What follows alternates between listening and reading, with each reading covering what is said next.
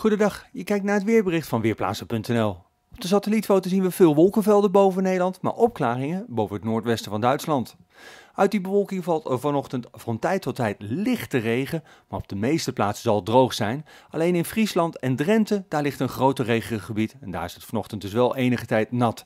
In het uiterste zuiden breekt een zwakte zon door, in het noordoosten kan de zon ook af en toe doorbreken. Ook vanmiddag her en der wat regen, maar droge weer overheerst. Paraplu vooral in het oosten wel even meenemen. Temperaturen 15 tot 18 graden. Vanavond nog een enkel buitje, opnieuw vooral in de oostelijke helft van het land. Elders zijn er enkele opklaringen en de temperatuur daalt weer langzaam bij weinig wind.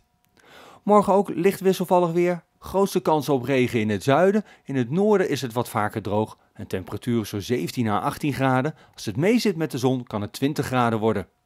Ook woensdag zijn temperaturen van rond de 20 graden mogelijk als het de zon goed schijnt. Maar enkele buien gaan ook ontstaan. En donderdag en vrijdag neemt de wisselvalligheid weer toe. En dan zien we de temperaturen ook weer duidelijk dalen. Vrijdag wordt het maximaal slechts 13 graden. Ik ben Michiel Severin van Weerplaatsen.nl